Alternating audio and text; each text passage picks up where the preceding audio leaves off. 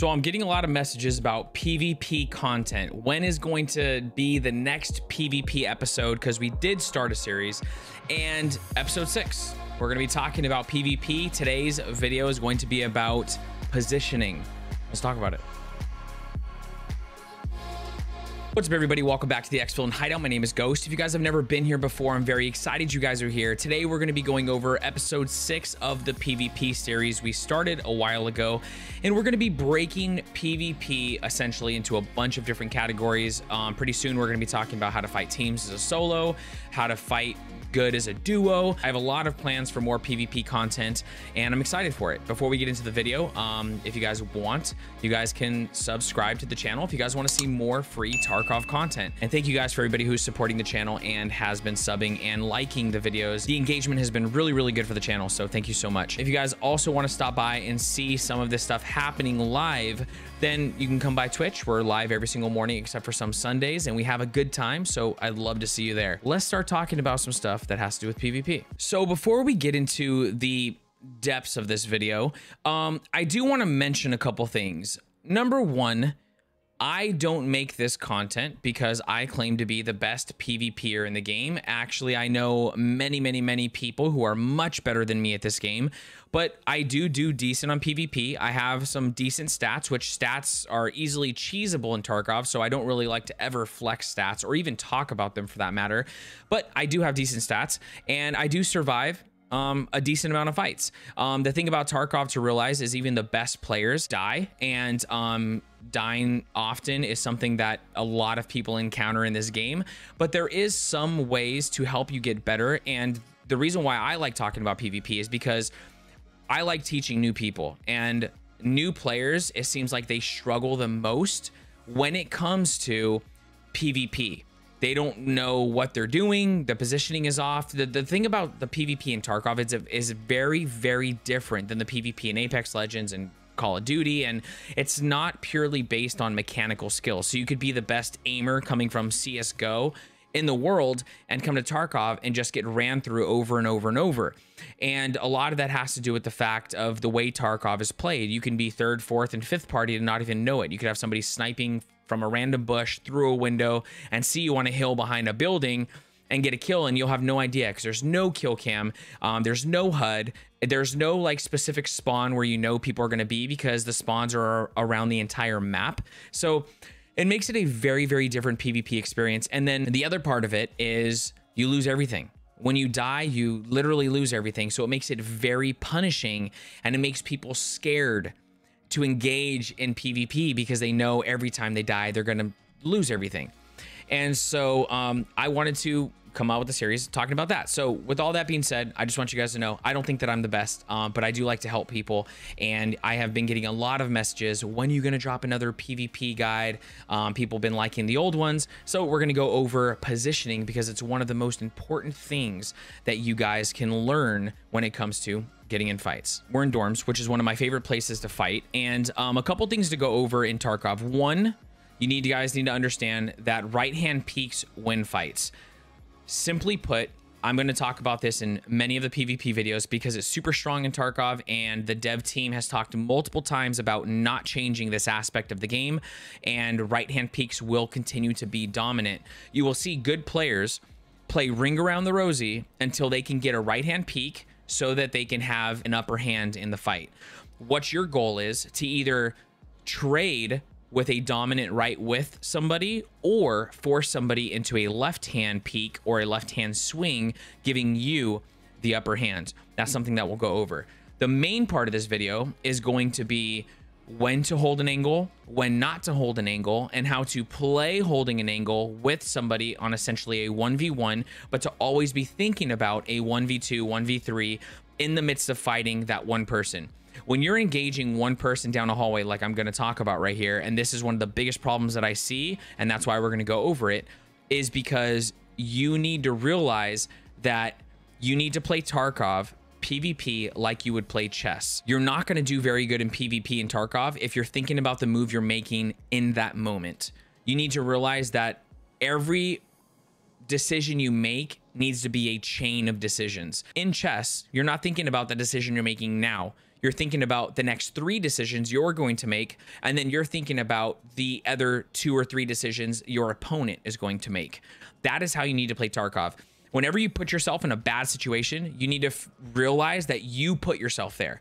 There was decisions made along the way that put you in that position, that put you in that room with no window, right? Like if I'm going to be sitting in this, right, we're fighting with someone down here and I go in this room. I'm purposely putting myself in an area that I can get out, okay? When you put yourself in this room, you have to realize now you have to get yourself out of this because you are the one who made decisions to lead you to a room that is literally a trapped room essentially right? And there's ways to get to get out of this stuff. So so definitely be thinking about that. While at the same time be thinking about lines of sight be thinking about areas that somebody could try to side bust you from and that is going to make you more self-aware um, in the fight. So ultimately the mindset in tarkov is not where you are, it's where you're going. And that will help you a lot um, to be able to expand what you're thinking about in the moment of your PvP fight. And don't stress in your first few fights, in your first 50, first 100 fights, you're going to be stressed out. It's going to be hard to retain information, retain even a form of thought because a really aggressive player is pushing you, etc. So that's what these videos are for. These videos are kind of to help you. And sorry for that annoying buzzing. The light above us is is making that noise. So the first talking point, when should you be holding an angle? Now, if you guys come from a game like Call of Duty, and I'm not hating on Call of Duty at all. I love the game Call of Duty. I have a lot of friends who are content creators and they're really, really talented individuals. And I think that there is a certain skill that comes with Call of Duty, Warzone, and multiplayer. But one bad habit that people have from playing Call of Duty is they sit in a spot and they just super tight hold an angle and and they'll sit there forever because in Call of Duty you're so used to having a set spawn and having those spawns flip and you know that like your team is always essentially unless you have like a good flanker your team is always around you and behind you. So you only have to focus on holding different lines of sight in these three lane maps Tarkov is not like that Tarkov is everywhere all the time, all together. It's a very, very different experience. So you don't want to get caught hard stuck on an angle and getting tunnel vision when you can get side bust from so many different places and also not knowing exactly where someone's going to be. So to answer the question, when should you be holding an angle? The answer is only when someone is unaware of your location. You should not be holding an angle if somebody knows where you are. You're asking to get pre-fired, you're asking to get killed by a better player. It's you don't want to do it. And so what should you do in this situation when you're holding an angle? So like, let's just say this is an angle. And the reason why I'm sitting here, I'm going to show you two spots that are some of the main fighting spots in dorms. One of them is somebody gets here first, they loot marked room, and then they kind of linger in this area. Okay, maybe they go all the way down, but ultimately they linger here. Now, this is not a bad spot for a good player, but it's a bad spot for a new player. Now, there's a lot of ways you can go about fighting in this spot. You can shove your way back and forth down the hallway until you get here. You have a right angle peek so you can have like a very, very tight peek right here which makes it really, really good for fighting. You can actually shoot through this wood and pin somebody if you know that they're there. Um, you have the roof with different ways you can escape. You can be like the talented Willerz and you could drop down this window and go in second story. You can actually jump to this if you time it correctly and don't like break your legs and stuff. You can run all the way down here and you can drop onto this fence and you can get away you can come right here and you can run and jump against this building. If you run and jump against it, you end up landing right here on the ladder. So there's there's many, many ways to get out of this position. The problem with sitting in this position is if somebody knows you're here, they're going to pre-fire you or they're going to get their team to gather around you in different lines of sight to make sure that you're not able to move. So you don't want to be in this spot for too long when you are engaging somebody else, you want to be always making them think where you are. You don't ever want them to have the info of where you're at, like if they had walls. You're basically giving somebody walls when you hold an angle and you get hard stuck in an area and somebody else is moving all over the place and they've already seen you. So when somebody's coming up the stairs, this could be a really solid spot if somebody doesn't right away peek it. And even if they do right away peek it, you should have a tight enough angle where I would be able to get this kill if somebody peeked the headshot. I know that they might be crouched or they might be up here. So it's going to be in this area is where they're going to peek it. The other spot that I could hold is down and they're going to be coming through this door and they're going to be running back and forth this way where you can actually come out more if you need to or switch up to where you're at. Now, when you see somebody, okay, I know you guys have seen this. You see somebody running by and they're running by over and over and you're like what are they doing? What the heck man? And you're and you're just and you're just sitting here holding the angle. This is a very very common new mistake. I'm i'm not hating. I'm really trying to help you guys learn what's going on in that moment. Look at what i'm doing though. Do you guys see? I'm trying to figure out where you are down the hallway. I can see clearly down the hall. I can see everything I could see this area. I'm looking right here. I'm looking right here. A lot of people like to sit behind this. People lay on the floor right here. People peek this door right here in the bathroom. People peek marked room. People peek the hallway. So I'm going to keep going back and forth after I clear my area, right? And I'm going to, I'm going to try to see where you're at. Most likely you're not going to be able to kill me when I'm running back and forth. And that's what people are banking on and better players are banking on. So I'm going to keep doing that until I see you. And what happens if I see you? All I do is I get myself prepared and then I I pre-fire that area and I shoot you in the head before you're even able to react to the fact that I seen you because you're waiting to see me stop. But I already know where you are and I can go ahead and pre-fire that area. Um, or I can just lob a nade down there, make you move, and then push you a bunch of different ways, right? So in that scenario, you don't want to hold that angle. Which brings us to talking point number two. When should you not hold an angle or when should you stop holding an angle? Now, it, it goes to the opposite of that question. When somebody has seen you or somebody somehow knows where you're at and you feel like they know where you're at because of where they're shooting, because of where they're throwing a nade, they hear you move. Once your location is up, stop holding that angle point blank period stop holding that angle i can't stress this enough. You have to move. It doesn't matter where you move but you have to move. So one of the best things that i can teach you guys is a couple things. One you need to make sure that you're constantly moving to keep them guessing. If he's running back and forth six times and he sees you here you need to move here right? He sees you here you need to run up to here. If he sees you here when he's running back and forth you need to move out here right be looking like right here if he's gonna he's gonna pop his head over here maybe even an eight in there and then run back in here. Like you need to make sure that you are not in the location he last seen you because that player is trying to pre-fire you. And so what i typically would do is when you put yourself in inconspicuous unassumable spots and then hold an angle again so what you want to do is you want to hold the angle first once your location is given up, the info has been traded. You want to move locations and re-hold an angle or begin to push down towards the enemy and try to secure that kill. So the first thing that I would do if I have a good player that's over here is I'm going to move in a spot that they're not going to expect me to be. Okay. So he's seen me right here. The next thing that I'm going to do is I'm going to, as I'm moving up, I'm covering my footstep sounds and he's hearing the shots audio. It's happening right next to him, so it's louder than it is for me. And I'm moving locations and now I'm up here. When he runs by again, he might see me, he might not, depending on if I'm peeking. If I'm peeking and he sees me, then I'm either going to run back here, right? And he's gonna have to run by again and guess, did he run back? Did he just run in the kitchen? Where is he? Or I'm going to run to the next room. Another room that has another area that I can dip out of. I can fake run, right? Not let him know where I'm at, and then I can either repeak this, or I can continue to move up and continue to push forward.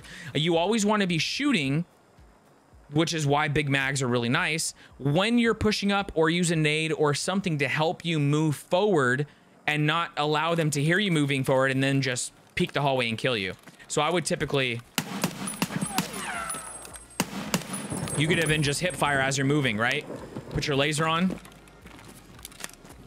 you can do it all kinds of different ways. And then if he does come out, I have a headshot. I'm already aiming where the head's at. I'm just using this to move, and then you can come around and you can get the kill. You can do it a bunch of ways that way. So now let's talk about another portion of this step, and that is the awkward reposition. The reposition that makes you feel like you're probably going to get killed, but most of the time works. And the reason why is because they can't expect you to be there when I'm right here and I'm holding this tight angle and I'm playing very well, right? This guy's like, man, I can't get this guy. He's holding that tight angle. He keeps repeaking. He keeps moving. You want to know where a good spot would be for me to move? Right here. Without a laser on. Sit right here. And I guarantee you would probably get the kill over holding this angle. And the reason why is because nobody expects you to be right here. So when when it, when somebody is searching for somebody, right? I'm getting I'm getting information. When I see somebody, my thought before I peek this is I already know where I'm shooting right? I seen him peeking this. I know that I'm going like this. If you're right here in the middle of the hallway, I'm going to have to adjust to where you are from where I seen you last. Which means you now in that fight have the upper hand because you're watching my one spot. Now I'm watching multiple spots because I have to trade where I'm where where I see you, right? I'm reacting to where you're at you're being proactive in that part of the fight and you're not just playing defensively, you're now playing offensively and now I'm having to react to what you just did. Whereas if you're right there, right? I'm just going to If I'm right here and then I'm like, "Oh, I literally have to move my reticle." So, that is basically how you would win a fight, how you would gain the upper hand in that situation. Something else I want to talk about, and this is going to be the third point. We'll also go over some of the other points in the midst of this conversation. But the very third point is always, always, always be aware of different lines of sight, be aware of your surroundings, and when you are holding an angle, never allow yourself to be tunnel visioned on that angle. You have to be paying attention to what is happening around you as a whole instead of just allowing yourself to like vignette on that one target, that one angle, and just hold it literally until everything else fades. You don't want to allow yourself to do that. So I'm going to give you a good example of that. If I'm fighting a duo right here, okay, let's bring somebody else into the picture. And I came right here because I want hard cover. I want to be protected and I'm going to hold this tight angle right here, right? I'm fighting a dude on the stairwell. This dude comms to his buddy, hey, he's in first floor elbow. You know what his buddy's gonna do? Hey, a good player, he's gonna say, keep him on the stairs. I got this. But look at me. I'm over here, hard stuck. I don't know necessarily if there's more than one. Always assume there's more than one. In this game, always assume there's more than one player. Make sure that you're, just like you would IRL, make sure that you're looking around, checking out the situation. Never let your guard down after you get the first kill, especially in Tarkov. There's they have a saying in Tarkov. It says there's always one more. So always treat every situation like there's possibly one more. This duo tells his player where I'm at. He gives up my location. He's keeping me busy right here and I'm focused right here. I'm not thinking about what's happening above me. I'm not thinking about what's happening behind me. I'm not thinking about which we're, we're pretty much safe right here, right? Look where we're open to. This is a very common window to get shot through. And where his buddy would sit is at the stairs of second story. Where he, and I'm going to show you guys the line of sights that you get through these windows because people have no idea that you have them. And I've gotten multiple kills from these line of sights. It's going to be a little bit harder to see because it's raining, but you still can see them, especially if you have like a Vudu or a vortex or something. So you just sit right here. It's in a bush. It's very hard to see somebody in this bush and they're going to shoot right here and they're going to get the kill and their buddy never even had to do anything but keep me distracted. Now, if he sees me here, the first thing that I want to do, just in case that were to happen, is I want to move. I have a couple options. I can either sit here in an inconspicuous spot, which I've got many kills here because nobody's expecting me to stand here, right? Also, it's a little bit harder to see back here because it's dark. So pay attention to your surroundings. Is it dark? Is there a light? Where am I sitting? Am I underneath a light like this? And sitting here is actually a very good spot. I'm protected most likely nobody's going to try to shoot through this. And also, I don't even know what the pen is on here, but I have never been killed through this door. I've had one person or two people try, but if that does happen, you can just push up against this and most likely you can fire back as well. Um, but, but you're pretty protected right here. I like to go from right here. Then I'm like, oh shoot, I'm exposed right here. Let's go ahead and move and I'll sit right here and I'll go like this. And sometimes I will get the kill. Um, the same thing with being in here.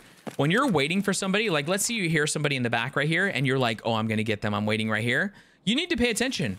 People can see you and people will kill you through this kitchen window. People will run right up to the back and look in here. And this is a very common spot for people to try to hold an angle, even right here. When you're holding this angle and you're not paying attention, look at look at to my right. that window has perfect line of sight to where we're at. So these are things that you guys need to be paying attention to. Another good one is like if you're right here and somebody keeps peeking you and you guys are exchanging and you're shooting, you could move up to like right here and do the same thing we just did and nobody is going to expect you to be standing in the middle of the hallway. This is another place where you can easily get a kill because nobody's going to assume for you to be there right? Let's go back to what we were before. Somebody's holding this tight angle. Look at holding this. They keep exchanging back and forth and then all of a sudden you're moving when you're shooting. I'm not, I'm not, I'm letting you shoot because obviously I don't want to get shot. And then I repeak, and then where are you? You're right here. Look at, look at this. Uh, oh, wait a minute. He's right here. It's too late. I, I'm reacting to what you just did, and I'm no longer, I no longer have the upper hand in the fight. Um, the same thing with up here. Holding this angle. Exact same thing. You got to pay attention. There's a window right here. Look where the stairs. The top of the stairs can see directly in here. And up here is the exact same thing. It's just like right here. Look at these lines of sights. I've got kills in here before when someone is waiting for somebody to push the stairs, pushing the stairs slowly, waiting for an angle up here, and I'm in the camp. Do you see the tent? All you have to do is sit in the camp area, and you can see clearly into the stairwell in second and third. That's an easy kill. this angle that people like to sit in, the one that I was telling you about, they will sit here until you push them. All you have to do is have your buddy go right into this area. There's a hill there, which means they have the high ground and you can see clearly up into here. Now I'm going to show you where those lines of sights are.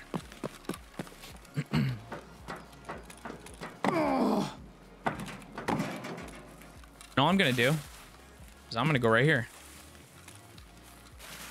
And I'm going to use my Vudu and I'm going to shoot you right in that door. Look at this. I can I can literally have a clear shot right here it's inconspicuous. You're not looking way out here, and I can see you perfectly fine. The other one that I was telling you guys about.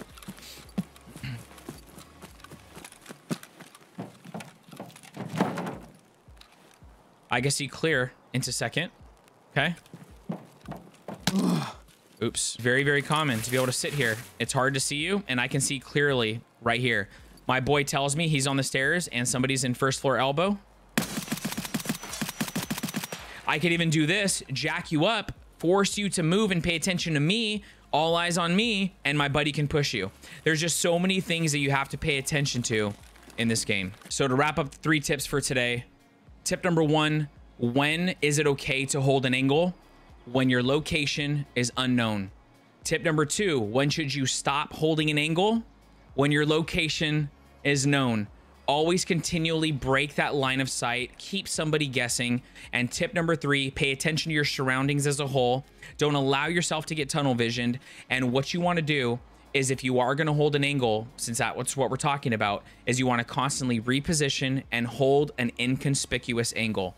Be somewhere they're not expecting, allow yourself to get the upper hand in the fight, and win that fight. Also, of course, if you guys have any questions, let me know down in the comments. I would love to talk to you guys about different PvP stuff. And if you guys have an idea for more PvP episodes, let me know what you guys want to learn when it comes to PvP.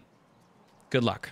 Thank you guys so much for watching another video. If you guys got some value out of today's video, make sure you guys smash the like button. It does go a long way for the channel. And if you guys want to see more free Tarkov content, make sure you guys subscribe to the channel. You can always hit the bell if you want to be notified when videos go live. I would love to have you guys by the stream. We're live every single morning except for some Sundays, bright and early, grab caffeine, and I will hopefully see you there. I hope you guys are very blessed. Hope you have an amazing day or night depending on where you're at in the world. Don't go anywhere. If you guys have been here, you know the drill. There's more videos for you. Check those out. I will catch you guys on the next one. And as always, happy raids, my friend.